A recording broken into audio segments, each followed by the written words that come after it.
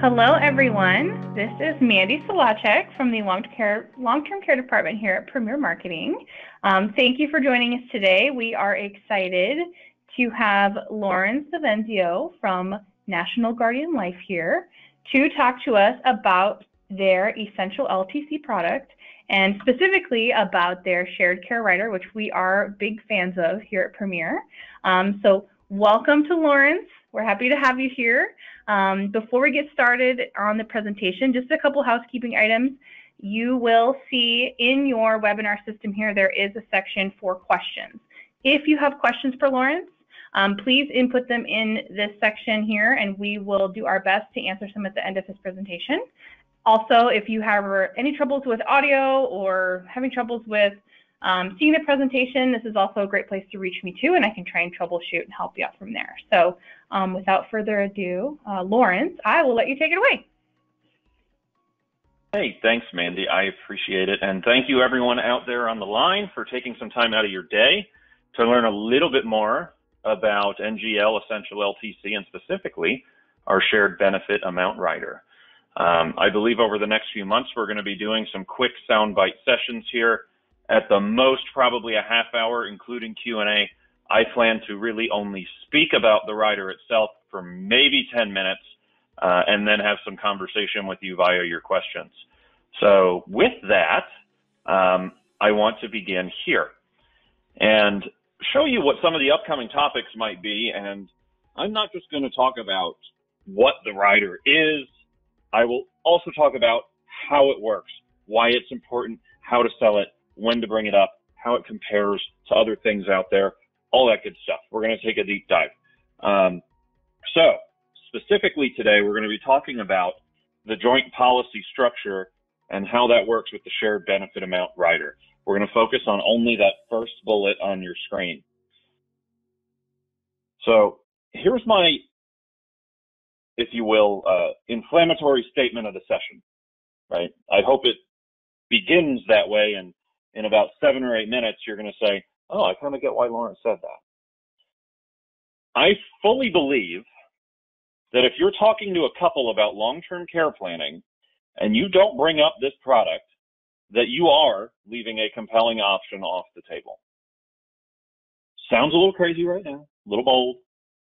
Bear with me, and I'm hopeful that after a few minutes you'll agree with me. The reason why I make that bold statement is simply because of how we built this thing. So generally, right, when you're out there, you're talking to Mr. and Mrs. Prospect, who should be two blue circles on your screen here, right? What do you normally have to do? Well, you have to sell two policies, don't you? He gets a policy, she gets a policy.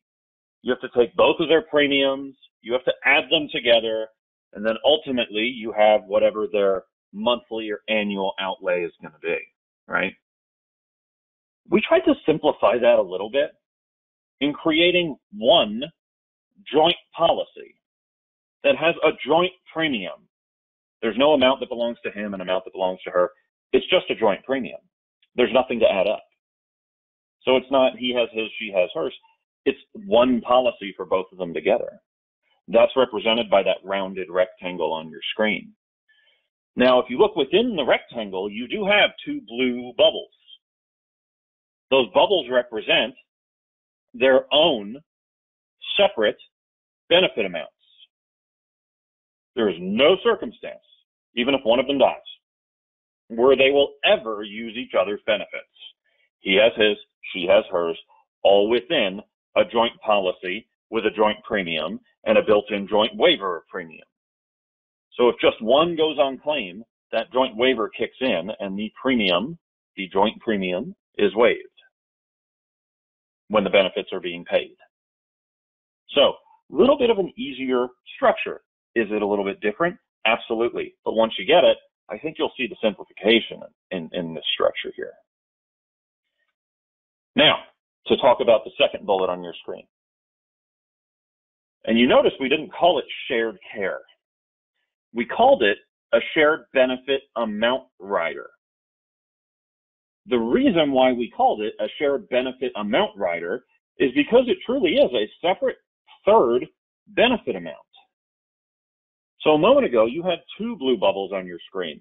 Now you have three. So if, for example, you were selling a uh, five-year benefit period,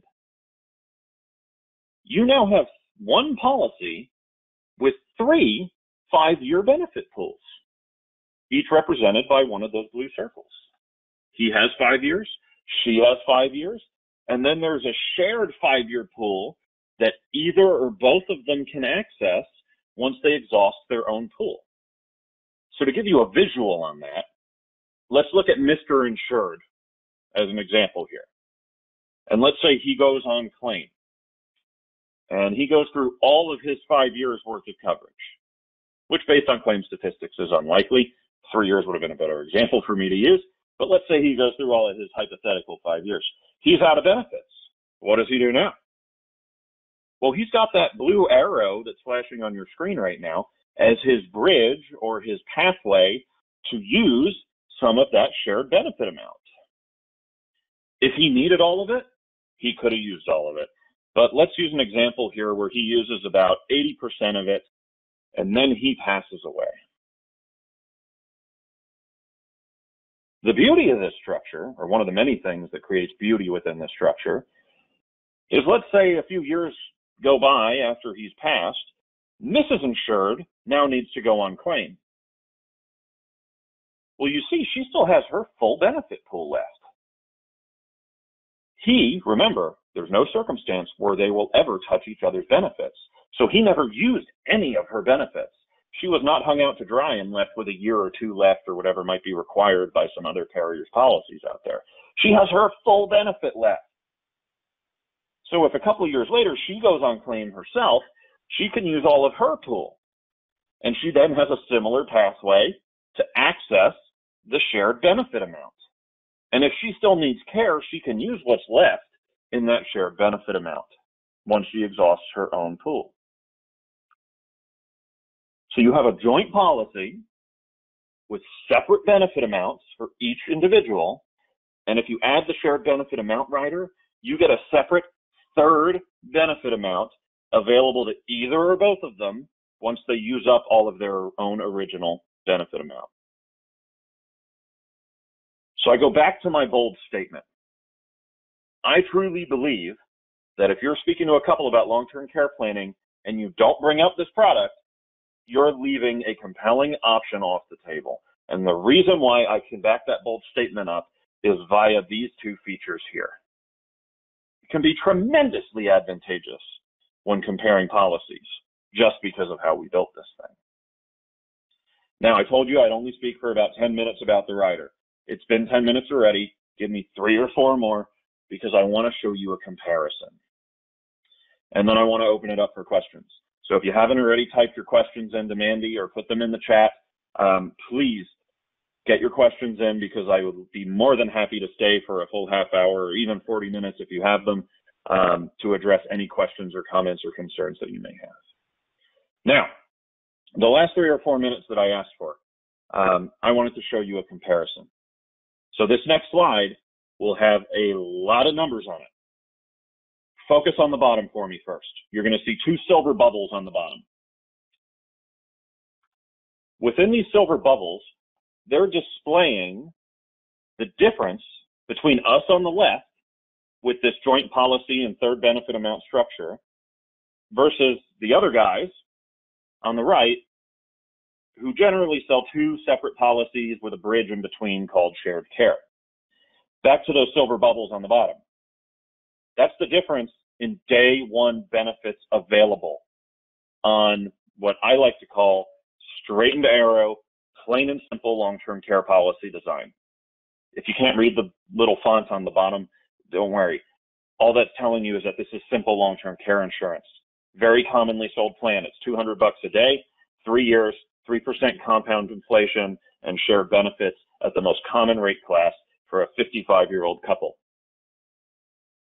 The difference in day one benefits, 657 versus 432. That's almost $150,000 in available benefits. Excuse me, $250,000 in available benefits on day one. That's not a small difference. Now, this is a 55 year old couple. Let's talk some hypothetical inflation here. 3% compound inflation for, I don't know, 30 years, put them in their mid 80s. You're going to be talking about almost a half a million dollar difference in available benefits once you account for inflation. Just because of basic policy structure. Joint policy with a third shared benefit amount versus two separate policies with a shared care bridge in between. Tremendous difference in available benefits. Now, if you avert your eyes towards the top of the screen in the black font, not only are we offering a significant more in available benefits because of the structure of this, we're also very price competitive in this marketplace. There's many scenarios where if you're talking to a couple, this is a very compelling option from both standpoints.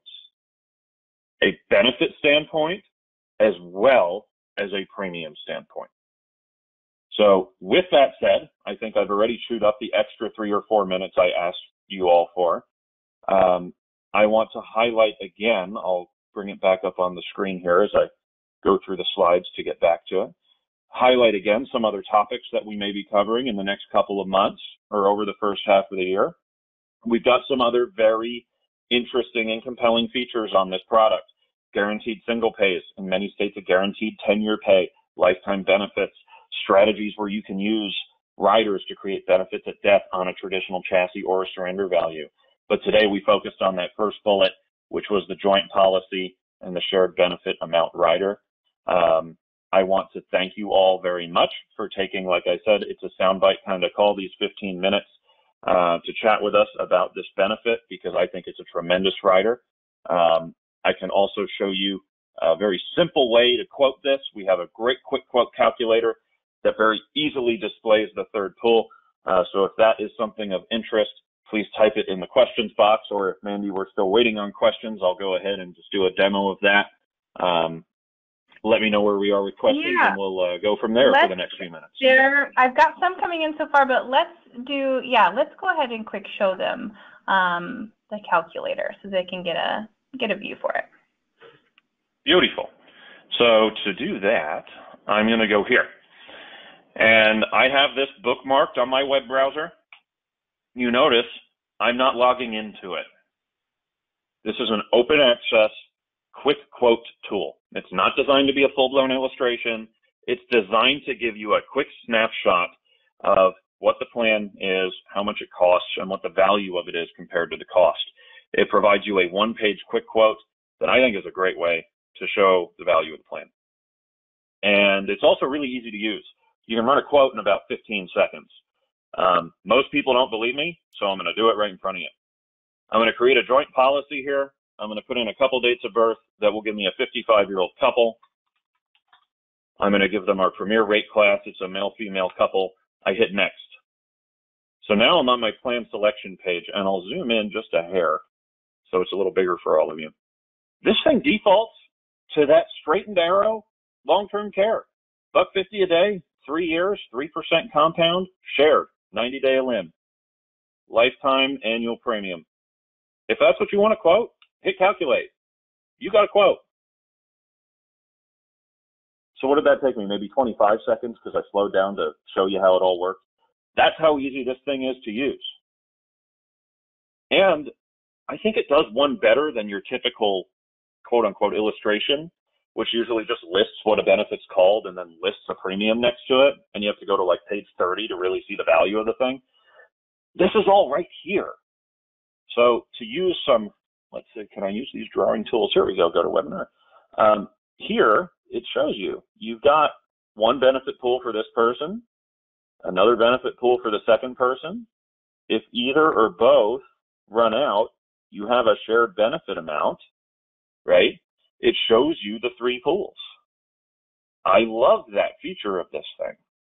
And then it also shows you what your premium is. And by the way, this right here is interactive. So if you change this to a 10 pay, it will tell you X amount and annual premium for 10 years instead of annual lifetime premium. What this does even better is it puts the premium next to the benefits for you. So it'll say, hey, at policy issue, you pay your annual premium one time. add up these three pools, you got about a half a million bucks worth of benefits available to you up to $150 a day. Talk about a value proposition of benefits versus premium. And this thing gives you a snapshot at age 85. You would have paid in about 143,000 or so. Your benefits at that time are worth 1.2 million dollars, available to you at that time up to 364 dollars a day.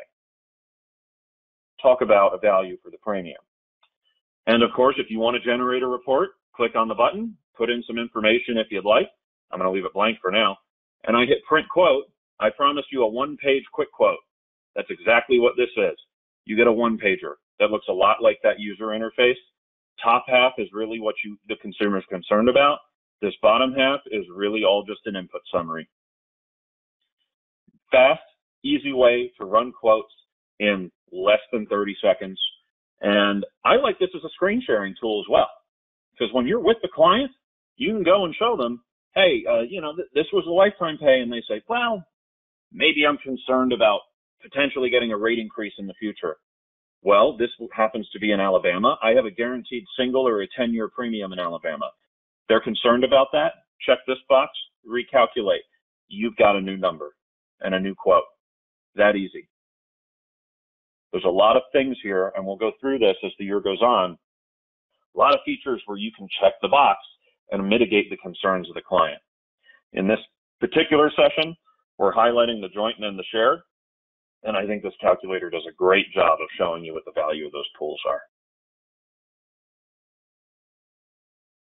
So with that, Mandy, I'll pass the baton back to you. If we have any questions, I'm happy to address them.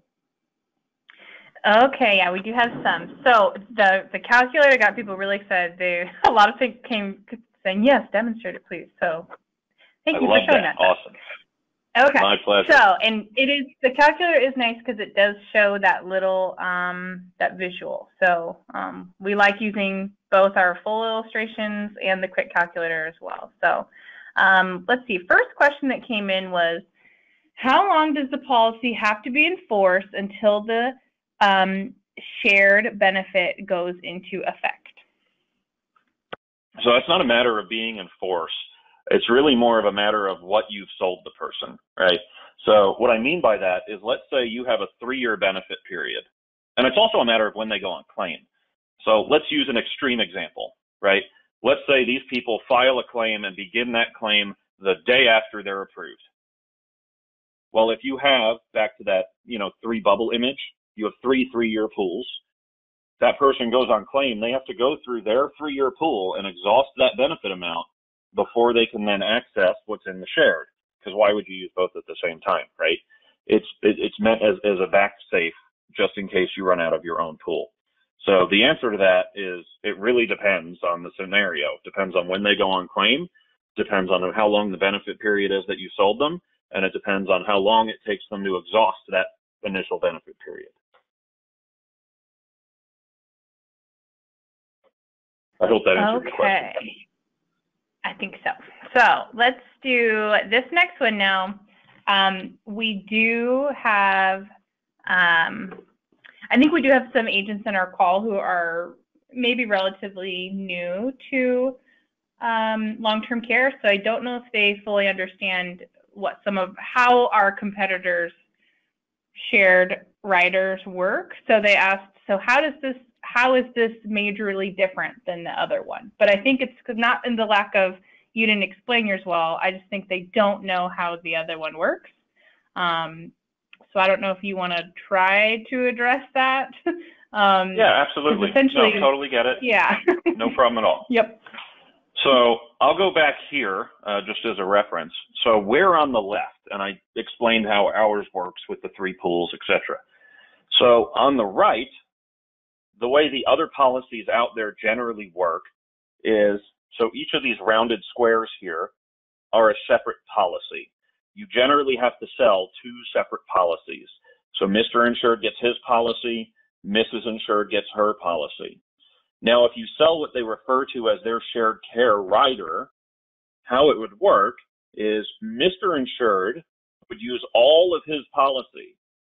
And then if he is out of benefits and still needs care, he can walk across this little arrow bridge and use Mrs. Insured's benefits. And depending on the carrier, he may have to leave her one or two years worth, uh, depending on what their rules are. But if he had a three-year benefit period, used all that, he can then go over here. And if that carrier requires one year needs to leave, uh, be re- uh, remaining for the remaining insured, then he could use two of her three years. So that's how theirs work. And again, you know, part of the beauty of the difference in structure, right? If that happened, he used all of his three and then he used two of her three. Well, she's only got one left. What if she needs care? She's only got a year. That's never going to happen on her structure because remember, within the joint policy, they will never touch each other's pools. You will only use your own and then the shared pool. So there's a lot of really interesting nuances and scenarios you can go through when you compare these two different structures. So I hope that was thorough enough speaking on behalf of how the other guys generally work without mentioning any specific carrier or you know, yeah, uh, I know their policies and rules. I was like, how do stuff. I? I'm trying to I was play like, nice. I know what they're asking. yes, I was like, how do I phrase this? Because it is, you know, it it is the the um, it is the difference between what and what makes obviously National Guardian Life unique in their product is one of them. One of the reasons is this shared benefit. So um, let's right. see. Another question was um, essentially they're asking if it's hmm, they ask they phrase it as if it's use it or lose it, but essentially I think what they're asking is um, what were to happen, I suppose, if they didn't use the shared pool. Um, but really, I don't know how to work that question. I might follow up, whomever asked that one, I might follow up with you individually well, to kind of ask you a little bit better what I'll you're tell you what. Let me kind of try and hit all bases there. So use Okay. it or lose it. I'll speak from a general benefit perspective. Um, it is not a use it or lose it policy. We are a reimbursement long-term care insurance policy. So if you have $150 per day and you have a three-year benefit period, when you do the math, 150 times 365 times three, um, you have a pool worth $164,250. If there is a day where you're on claim but you don't use any benefits, the pool doesn't change. It will stay where it was the previous day. But if there's a day where you pull out 50 bucks, the pool gets reduced by 50 bucks. If there's a day where you pull out all 150, the pool gets reduced by 150. So it reimburses you based on actual charges up to that daily benefit maximum. So it is not use it or lose it. Whatever you don't use just stays in the pool and then the benefit period will last longer than the three years, right? The way I used to explain it when I was in the field of consumers was, hey, it's a, it's a multiplier. It's not a defined period of time. So even though you're getting a three year benefit period, you're really multiplying $150 times the number of days in three years. If you use 150 every single day for three years, it'll last three years. But if there's days where you use a little less, it will stay in the pool and then it will last longer. Same goes for the shared benefit amount. So I hope that answered your question, whoever typed that one in. I think we covered um, most of it. Uh, let's see. Okay, one. Okay, we've got one more, and this one is inquiring, I think, about because you've mentioned it's joint. There's one premium. It's not part of the premium. It's hers or theirs. So they ask, so what happens premium-wise when one of the parties in the joint policy pass away? So in most states, uh, as of today, in 38 states, uh, as of February 4th, which is just in a few weeks, it will be in 43 states. Uh, when one party dies, the premium will be reduced. So to go back to the quick quote real quick, this was our 55 year old couple, about 50 a day, three years, 3% shared, 90 day EP, right? Um, when you look at the fine print down here, oh, sorry, that highlighted way too much stuff. Down here, you'll see it will say upon the death of the primary insured, the remaining premium for the secondary insured will be X. If the opposite happens, it will be Y. Um, it's really just based on gender uh, and original issue age uh, of the individuals. So the premium will go down in, as of today, 38 states at the death of one insured. Uh, you have five additional states joining that list on February 4th, and we're hopeful we'll get that in the remaining states throughout the course of this year. Um, but if you are in one of those jurisdictions where the premium does not go down when one dies, I think you'll find that the overall premium for the policy is slightly cheaper in those states where that doesn't yet, uh, in those states that do not yet have that enhanced feature. So simple question, right. long answer. Well, I apologize for that. Um, no but, worries. It was perfect answer. All right, sir. Well, I think that's all the questions. Some of the other ones are just people interested in getting set up and some other questions. Um, link to the calculator. Everyone's really interested in the calculator too, so I'm sure that's something we will send up with our follow-up as well. So um, with that, thank you, Lawrence, for joining us today. We're excited to have you to come back and continue to do these um, webinar topics with us about your products. So, and thank you to everyone who joined us here today um, for registering. If you didn't catch all of the of the presentation, a recording will be sent out to everyone who registered, um, along with some follow-up information too. So, if you do have any questions on National Guardian Life, their long-term care product, um, or if you'd be interested in getting set up with it or learning more about long-term care, um, please don't hesitate to reach out to us here at Premier. We would love to help you and answer any questions that you have. Um, so Lawrence, thank you so much for coming. We always appreciate when you're here. Hey, absolutely my pleasure. Thank you for the time and thank you everyone on the line for taking some time to hone in with me on the joint policy and the shared benefit amount rider. And I look forward to chatting with all of you next time when we explore some of the other key features of this thing. So Thanks again, and I hope you all have a wonderful afternoon. Thank you, everyone.